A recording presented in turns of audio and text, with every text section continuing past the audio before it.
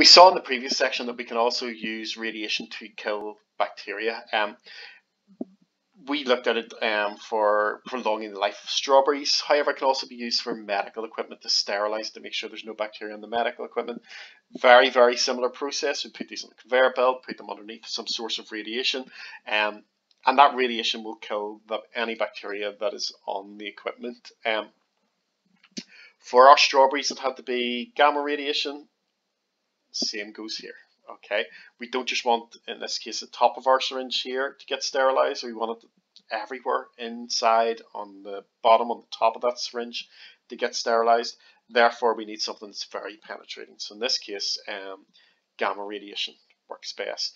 And this is particularly useful for equipment that we can't, say, um, heat up to high temperatures to kill bacteria or use um, chemicals on it to kill that bacteria. Um, so it's another useful way of killing bacteria.